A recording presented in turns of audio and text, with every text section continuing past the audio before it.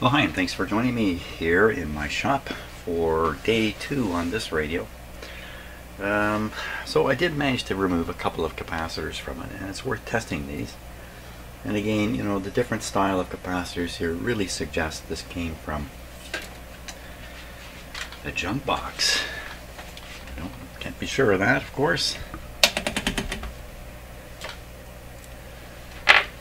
So the test I'm going to do here is uh, to find out if the uh, internal internals inside the capacitor have become conductive, usually from moisture penetration. And once once moisture gets inside these, or chemistry occurs, some of these have chemically active materials inside them in the paper and whatnot that's inside and uh, some chemistry can occur over the years too. Without moisture. Okay here we go. So uh, the, what, what the test does it puts 50 volts onto the capacitor. If no leakage current flows whatsoever this eye will be open like this. When I first hit the switch there's a charge flow that flows into the capacitor and that will cause the eye to close. It's, you can't tell it from a leak. But after that takes place after the charge takes place, which just happens almost instantaneously. And then you'll see how far open these eyes, the eye came. A good capacitor will look just like this. It'll just pop right open. Here we go. That's definitely not a good capacitor. It's open a little bit. So on the scale of capacitors that I have tested in here, this guy's quite bad. This is poor. Definitely a poor, poor test. That was only 50 volts. That's nothing. Okay, 50 volts on the Hunts. Oh, so this is a Hunts. These are well known for being bad actors. Let's see if it's true. Huh. Let's see that again. Okay, 150, 150 volts. Still opening just about all the way. Probably won't open on 250 open about halfway. So as capacitors go, this one's in actually not so bad condition. And it may be that this particular Hunts capacitor isn't as old as others that I've come across. Hunts, I believe they're made in Britain. I believe, I believe, I believe. And this one, this one looks like a German. Germany, says Germany on it. There's no way that these came from a uh, somebody shop supply or shop stock. if you look at my uh, stock, yeah, yeah, I have a bunch of stuff like this. Not a lot of this kind of stuff, but uh, I have all brand new capacitors. They all look the same. They're from the same manufacturer, of course. So, talking about capacitors, let's carry on. There's one on the back there by the antenna. And then we've got this guy over here. Uh, four or five more inside the chassis here, which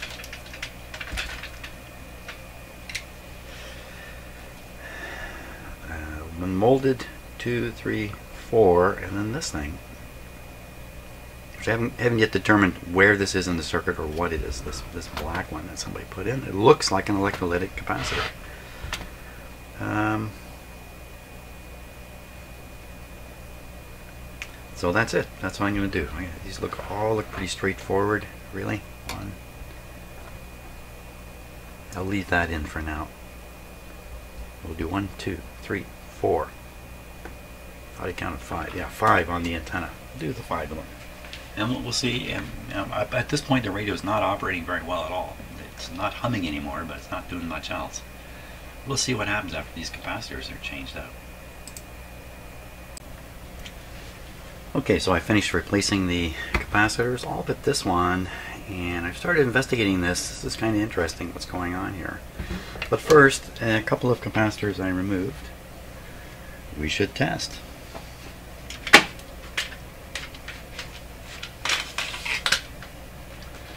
I always like to test capacitors I take out, uh, just because I think it's better to know than to guess what's going on.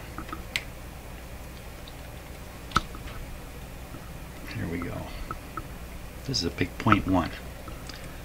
50 volts. Watching the eye there. Garbage.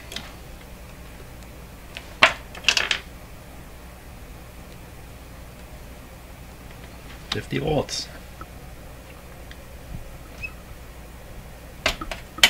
One fifty. Close to the garbage. It should be in the garbage. It should be. But as capacitors go, it's not as. I think you know in many uh, uh, positions in a radio, a capacitor like that would still be serviceable. There we go. 50. Not this one. And now, how about this?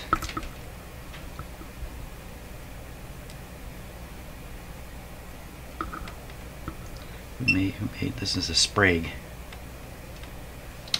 50. 150. Well, that's the best of, of them so far. Now, don't I have one more? I thought I had one more in here. Somewhere, one more. I do. I have, a... don't I? Maybe not. Maybe not. If I do, uh, we can test it later. Okay. Now, let's take a look at the, the curious black capacitor. Tell you what makes this capacitor even more curious here.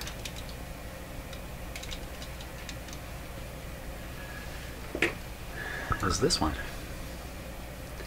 So this is the only uh, disc capacitor in this whole radio. And if you look,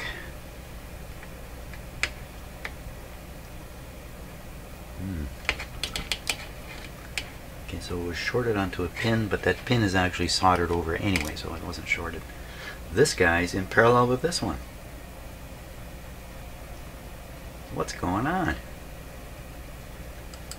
This looks like it says 0.01 on it. So I want to find this position. So this is a ground point uh, back to the uh, back to the B minus. So it's all up to this position here, which is which has got a resistor on it, 22.2 megohms on it. Sounds like the resistor heading for the AVC. Uh, I don't know that though. 2.2 megohms on it, and it's got another resistor down here the value of which I can't read. Two resistors and at least one capacitor because I think somebody put two in to try to get up to where they need to get to. Something crazy like that. So let's take a look on the uh, schematic here. Um, so so 2.2, it'd be smarter to look here. There's a 2.2 in R3. Is there any more? That's it. There's only one 2.2 megohm resistor, R3. So we'll take a look at R3.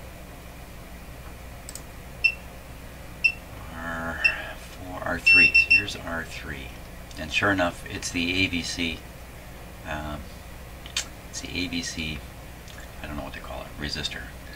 Um, this resistor is protecting the very high impedance on this side. It's going to the grids. You can look at it that way. So there it is, and then there's another resistor. There's two more. There's two more off of this. Two capacitors. Oh boy, oh boy, what has he done? So this one goes over to the tone control, or the volume control rather. Uh, I know which one that is. That's neither of them. That's nowhere near them. It's nowhere near there. Um, Well,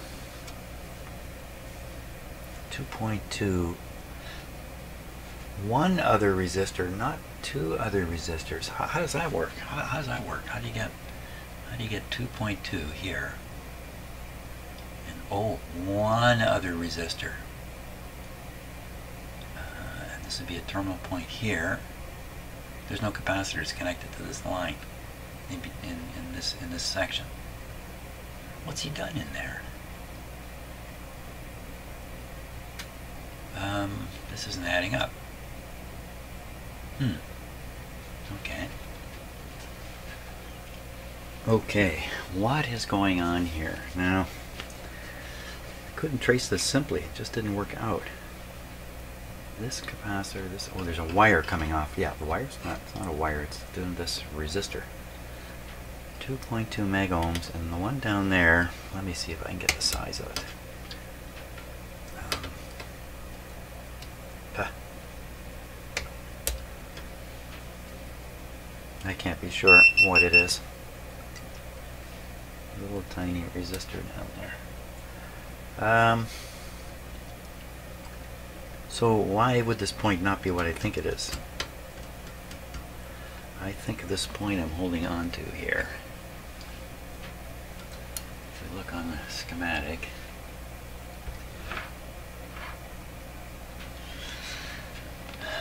um, it has to be one of these four these terminals. Which which can am I on? Let's get that sorted out first. So I think I'm on uh, number one IF. That doesn't make sense. With the 22 there, that would be number two. And the second IF. First IF. Is there a diagram for that? I don't have to think about it. Yes, there is. T1, T2. T1. T1, the, front of the radio. So T1 is near the front of the radio. So this is T1. It's T1, what's it doing with this?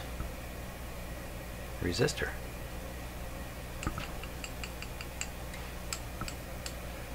Well, I'm getting something all really messed up here. Um,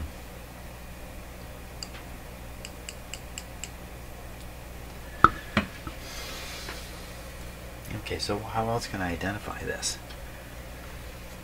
Yeah. Wow. Well, the other terminal from the transformer goes straight to this tube. Straight to or straight from that tube. Oh my god, I'm not going to be able to do this. One, two, three, four. It's pin 5 on the, uh, what tube is that? Pin 5 on the 12BE6. Pin 5 on the 12BE6. Pin 5 on the 12BE6. Where are you? Pin 5. It's the plate. So this would mean the uh, wire I'm looking at is this one. Come on. There's no way.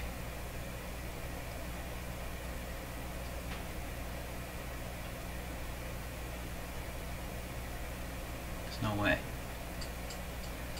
Then I've got these flipped around and I'm really looking at this line. Capacitor.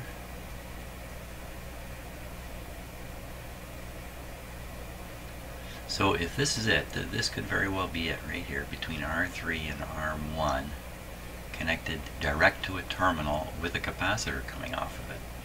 This capacitor I'm looking at is two in parallel that go to ground. They're doing what this one's kind of doing. I think this is a big mess up in the radio.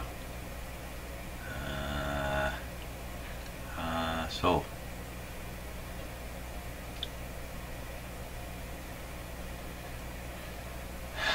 this is always tricky when when you find something that doesn't match. So this this would match. Well, it's coming from the other terminal. Is this here? Let's find out if C C9 exists. C9 would be coming from the other terminal going to ground. All right, C9. Right. So other terminal be this one under here. Unless I got the transformer turned around somehow. Don't think so. No capacitor in sight. Ah. What has he done here? Am I, am I maybe I'm not seeing this right. No. no. These two capacitors are definitely just in parallel through here.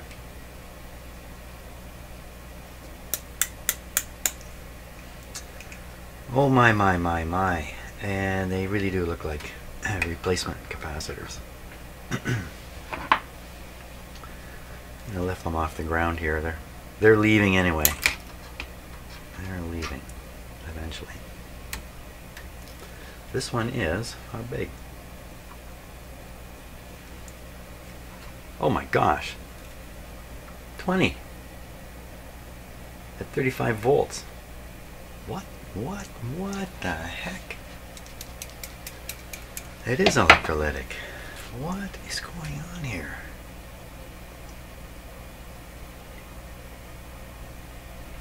And then this one, this is, uh, looks like 0.01 written on it.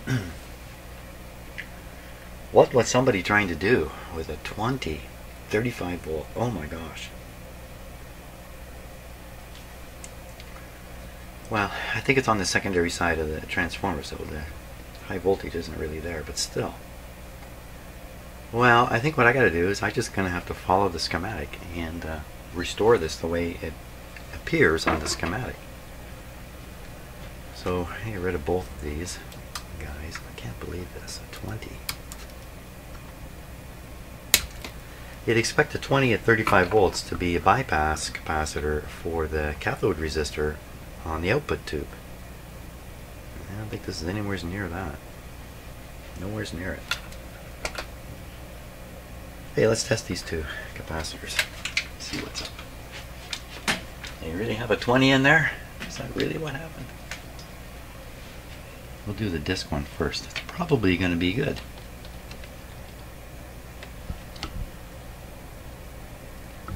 My impression, I think everybody would agree, disc type capacitors are highly reliable guys.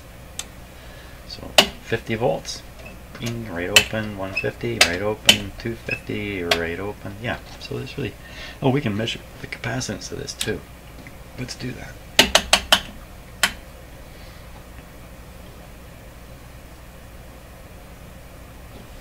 0.01.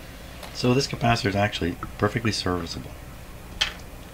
This one is not going to be electrolytic 50 volts. Put the positive lead on the positive side.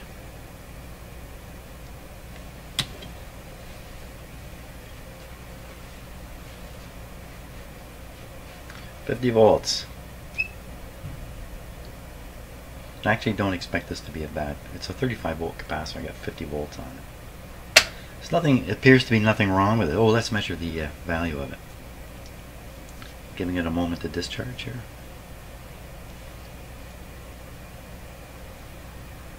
Okay, this is supposed to be a 20, so it should be on this scale somewhere. Oh, there it goes.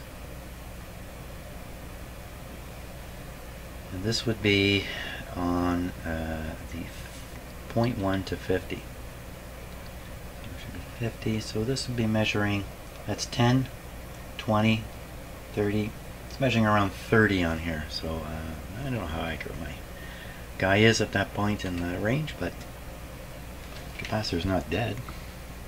So those are actually functioning. What in heaven's name was it doing in there? Uh, so look, that is a good question. Looking at the schematic here. I have a big 20 microfarad capacitor on this terminal going to B minus. What would that do? So I look, look in here. So I think it's this terminal. Well, well,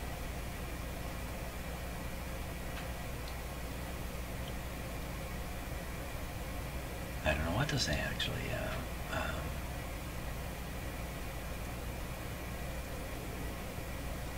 well, this might have been why that radio wasn't working.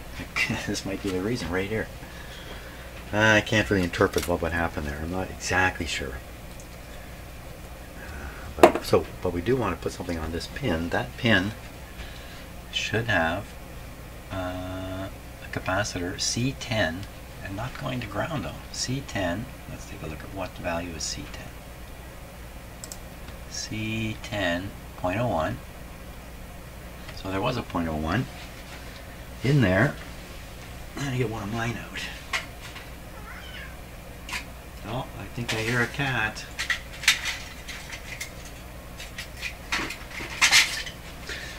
Okay, so here's a .01, but it doesn't it doesn't go to doesn't go to ground. Peanut, what's happening, man? It's a cat. It's not a man. He's a cat. A male cat. Peanut, come in.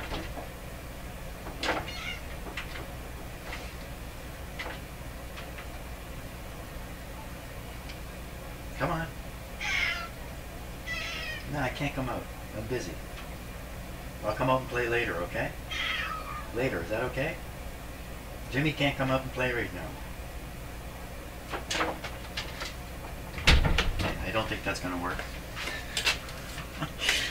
but I see shadows out there too, so the two of them are goofing around together. So let's figure out where this capacitor is really supposed to go. Uh, put the schematic back up here. These uh, uh, down to this line. Wait a minute. That, wait a minute. Wait a gotten big a minute. That is B minus. It's this one that's odd. This is the one that's going to the chassis. Over here on this other terminal. So that is correct then. Where he had it is correct. B minus. He had it in the correct spot. But it's only supposed to be a 0.01. Not a 20. Probably wouldn't make any difference, you know that? Probably wouldn't because uh, you know if you overdo this, uh, you know this capacitor is supposed to look pretty much like a short circuit at RF frequency. So you put a bigger, bigger one, it's just a better, better short circuit. So probably did no harm. Why he did that, and it couldn't explain why the radio's quiet. Okay, we'll put we'll put this capacitor in and try to figure out. Uh, I probably already changed this one. Probably already done. Uh, 0.01. Good. Right. 0.01. 0.01. So I think at this point everything is just fine. The uh, other capacitor is, is uh, that should be in there is this one. I already put it in. So according to the schematic, this radio is wired just as it should be. For some reason, somebody stuck a 20 microfarad capacitor in there where it wasn't needed. Okay. Uh, so, will this make this radio work? That's a good question. Why don't we find out? Let's find out. I think I've put my finger through that speaker cone a few times now. I've certainly hit it with my finger, I know that. Trying my best not to put my finger through it. I should have put a protective cover on it. Should have. Okay, I'll do a clean up here before we switch on.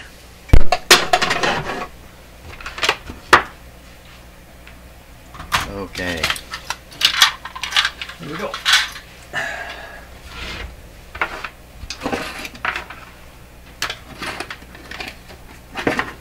Oh, I, I left. I left one. Ah, I left one. That's okay. That's doing nothing. Uh, you know what? It is doing something. Uh, hey, let's take a look at that on the schematic. That's it there. That's what I thought it was. It doesn't look to be in that position there. It says uh, L1 is deleted on this radio. So looking back at it, oh, you know what? I, I, I saw something wrong. Yeah, it is exactly like this. So if you're going to hook up an external antenna, it's going to run through that capacitor and then hook up here. I'm not going to worry about the capacitor right now. It's, it's not going to have any impact. At least I'm pretty sure it won't have any impact.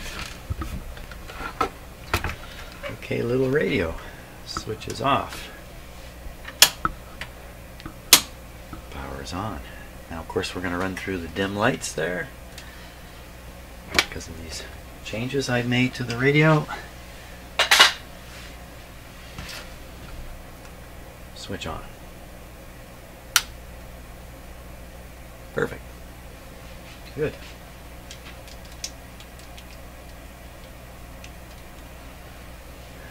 What are you going to say this time, Mr. Little Radio?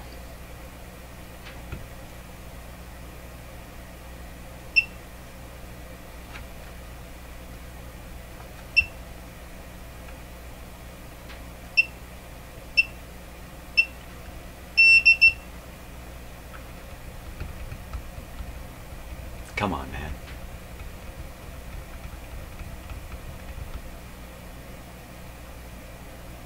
Hmm. That it?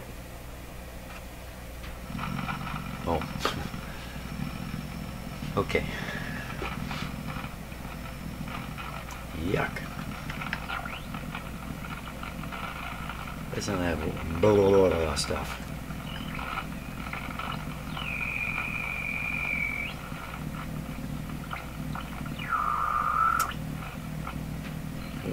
Well,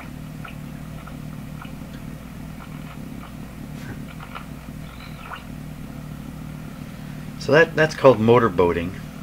That usually is due to, uh, I, I believe anyway, I understand, uh, feedback problems on the AVC line.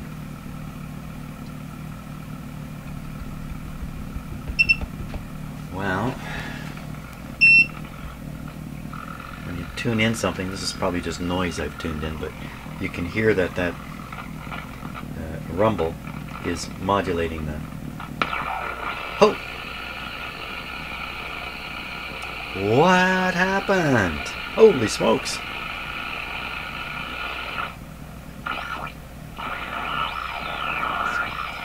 I haven't tested the vacuum tubes yet. Maybe one of them's half out.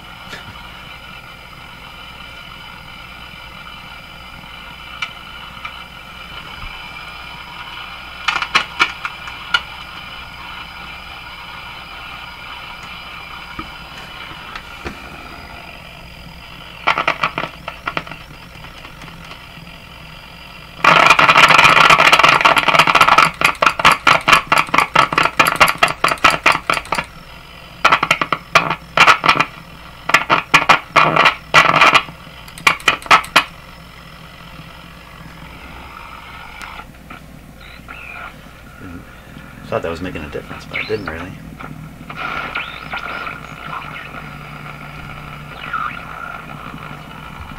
Well, okay. Something's wrong here. Something's still wrong in this radio. Only this time I think it's a little more serious.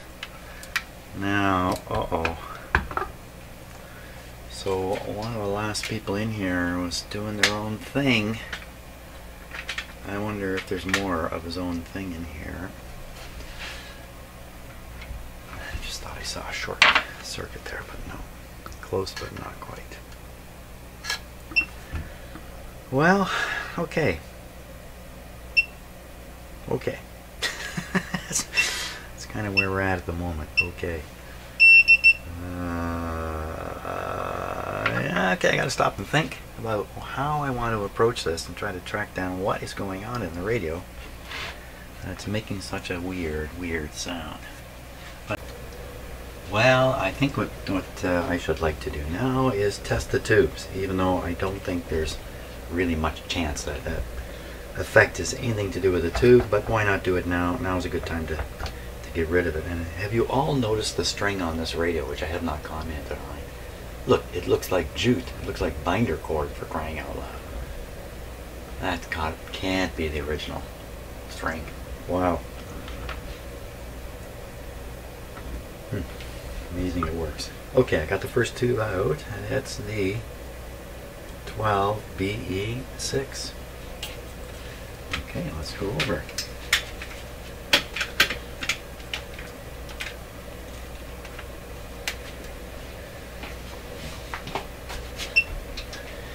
Lighting right so the pointer will show up on here. That's pretty ugly lighting. Well, let's get going here. 12BE6. 12B. BE6. There he is. 13. 4. 8L. 51763. five, one, seven, six, three, three thousand on the bottom.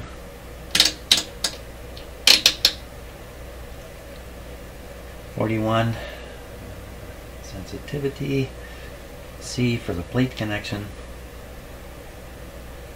Whole tube tested at once. 12 BE6. 13.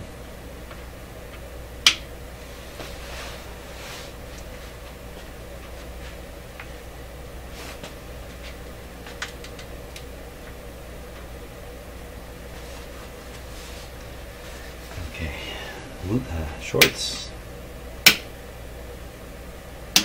Now this tube came up a little bit on. Oh,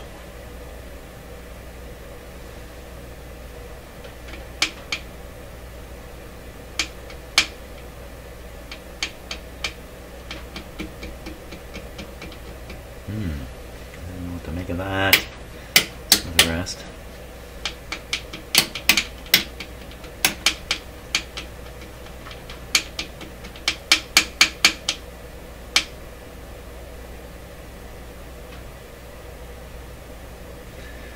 Hmm.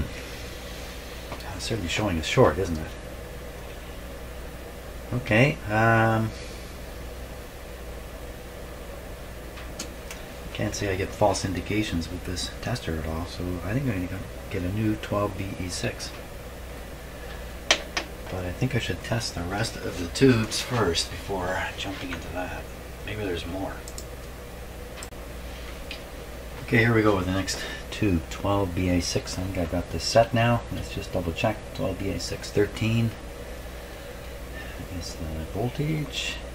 410L 52763. 52763. 4120, 4120. 33. C. Okay.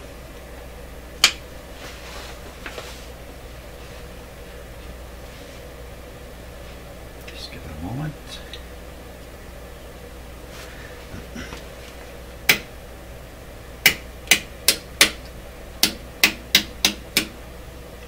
Indicated. This tube should test right around just under a thousand. So if it's above a thousand, she's good. Oh, okay.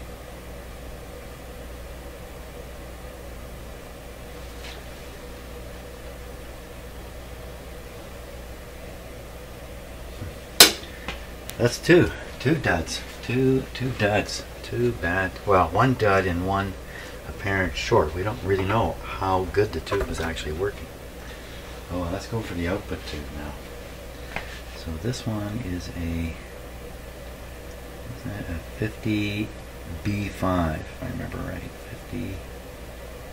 Can't quite read it. So one thing I have learned is uh, read the label on the tubes. Don't trust what's in the radio. 50B5. Okay. 50B5. Oh, so let's get this guy set up. 50B5. Okay, let's try this output tube. 50B5 47 on the heater.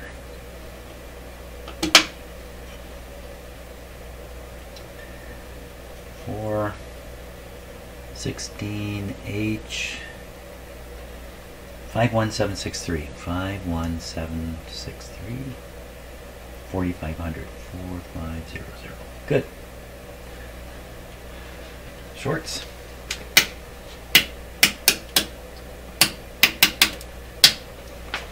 and he is supposed to come up 1200 so 12 up up up up above about here so it's kind of right on the line that's going to be fine, I think. That's not enough to get rid of it. Okay, got a tu- got a good one that time. The next tube coming out would be the uh, this is the rectifier tube. Rectifier tube is a 35Z5. 35Z5. I'll just leave the camera rolling here. 35. In fact, I'm to fix the lighting for me. Can't see. 35. 35 Z5. So 35. Uh, no signal. No bias. 07 07003. 07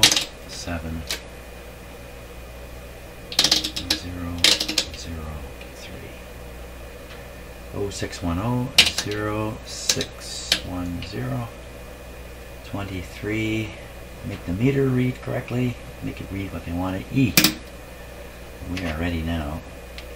Put in the rectifier tube double checking 35 0700 07003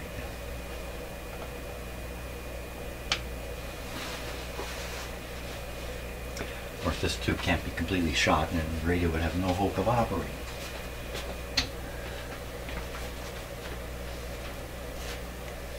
But this, along with the output tube, are the two tubes you generally expect to wear out uh, because they uh, run hot. They work hard.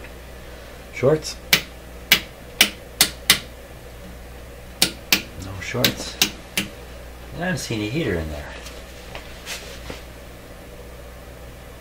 Uh, I don't think this, uh, I don't think this is working. So we'll flip the rectifier switch and it should come up here. Rectifier's okay. Yeah, something went wrong there. Okay, watch this light.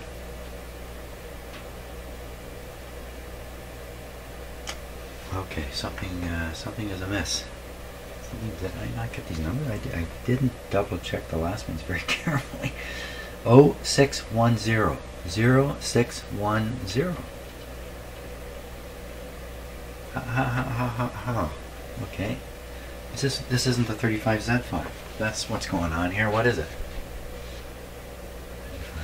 35W4. Didn't I say something about always check the number?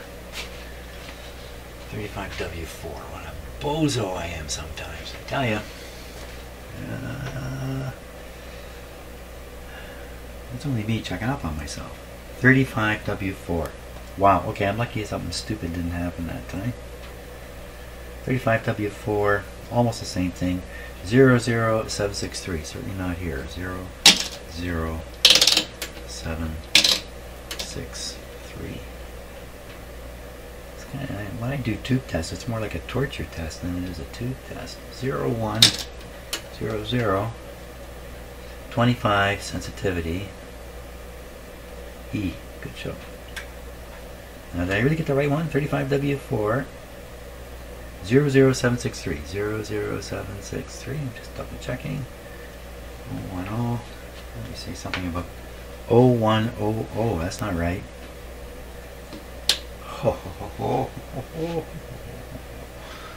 Okay, I think we're ready to risk my tube tester again.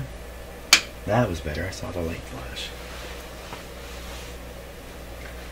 Lucky break. I don't think these uh, machines are necessarily error tolerant. This one I don't think is error tolerant. Okay, any short circuits in there? Nope. Okay, so it should come up above here. And it tests just fine. Okay. I tried destroying that tube, just did, couldn't quite do it. And now we have one more left. So we're two we're two for four. Half and half, fifty percent. Fifty percent. Now I'm gonna follow my own advice here for a change. Uh, this looks like an AV. Maybe it's an AT.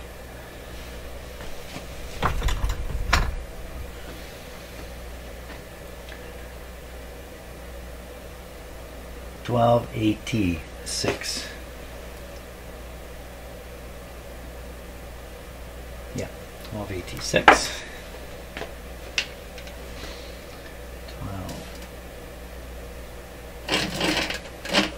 Turn on the light, please. 12AT6. There it is. 13. one, 28L. 51760. 51760. 0300. 0300. 35. F. Ready to do one part of the, we're doing the uh, triode part here first.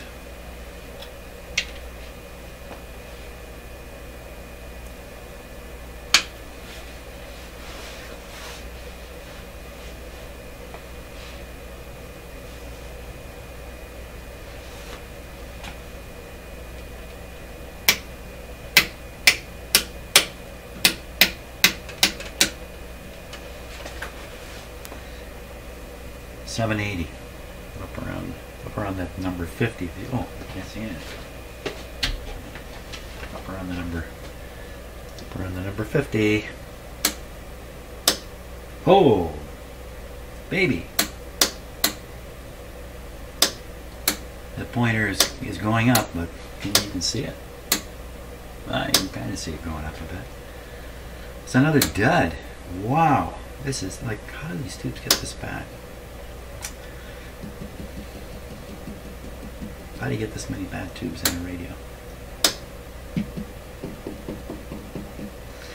Okay, well that's one part of the tube. I mean, it's it's, it's shot. Or did I did I make it? Uh, did I make a mistake? Check this out. 13. Step line on 13. No signal. Oh, oh, oh, oh, wrong one. Signal 1. 28. L. That's correct.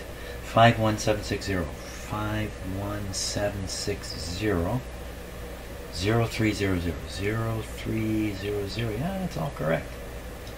F on the plate.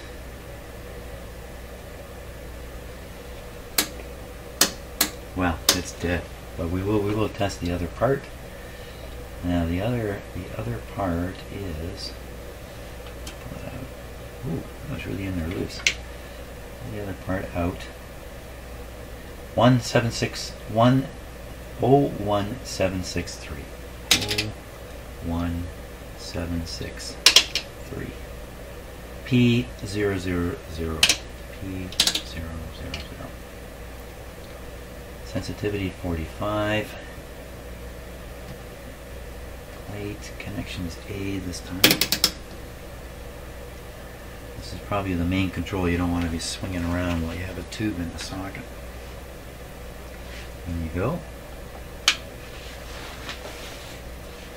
Wow, there's a lot working against this radio if all these tubes are as bad as they appear to be. So this time we're looking, we're, we're testing a diode, and all it's diode. And all it's got to do, two diodes, P1 and P2, plate 1, plate 2. All it's got to do is get up here above the diode's OK setting. Check for shorts, just in case.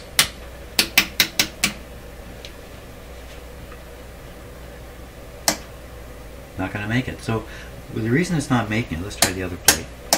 all three functions in this tube are bad. And that kind of indicates the cathode is spent in this tube. The cathode is either contaminated, worn out, something like that. Uh, that would be from very high mileage or very rude operation.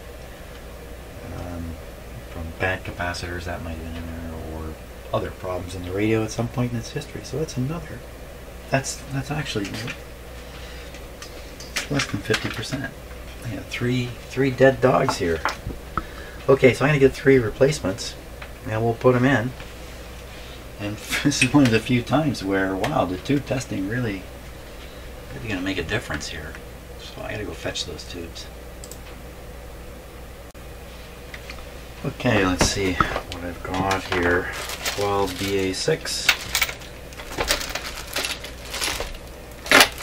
12 AT7, 12 BE6.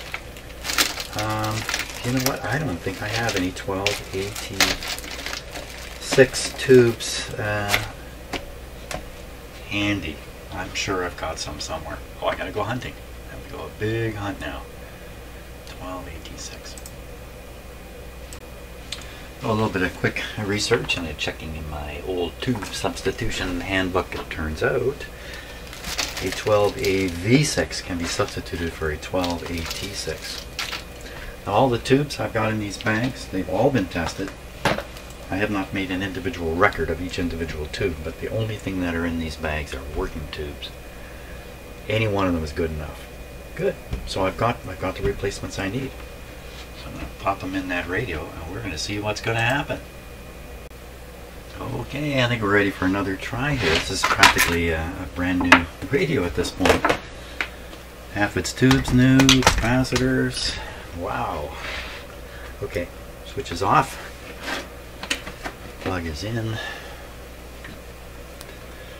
So, we'll, we'll turn it on with this guy. Are we ready? Sure. Okay, I've just stuck the light in the back there. Get it out of the way. Fire one.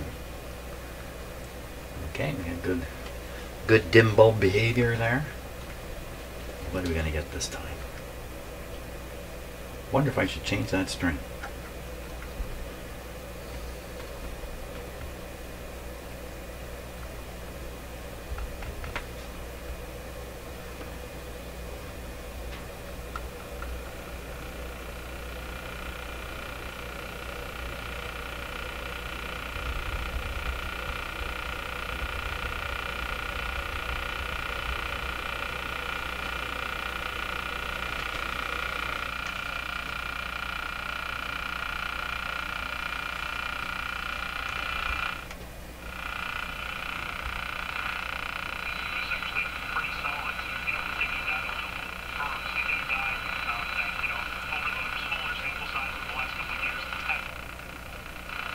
The clicking, I believe, is interference being received.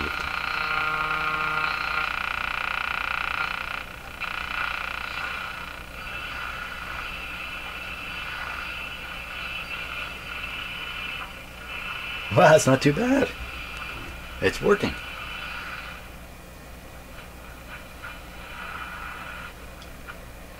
Find something I can try the speaker on. for a nice. Where's that nice low rumbly, strange sound? Did that go away? Maybe that went away. Due to the bad tubes, maybe? Here we are. Okay, I'm going to give it to the speaker. Give it. Well, hard, hard to say with that kind of noise, but uh, speaker doesn't seem bad.